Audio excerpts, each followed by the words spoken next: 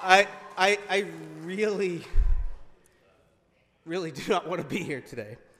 I, I, want, I want to be home with my family right now.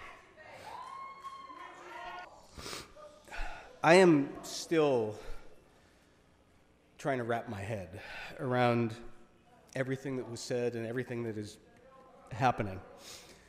Uh, my husband and I are both uh, raw and angry and heartbroken and sick for our family and for Los Angeles.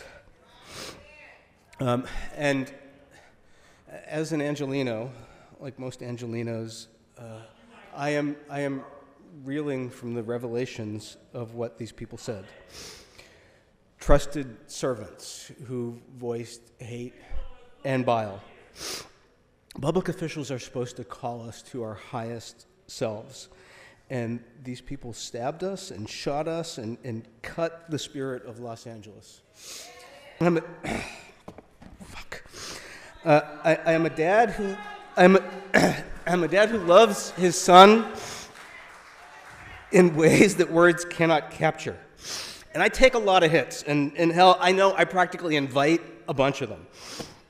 But my son, man, that makes my soul bleed and it makes my temper burn. And I know I'm not alone because Los Angeles has spoken and it feels the same way. These words, they cut uh, and, and, and, and they stung. Um, you know, I know that I can never really know or comprehend or feel the, the weight of the, the, the, the daily relentless racism, anti black racism that my son is going to face. But man,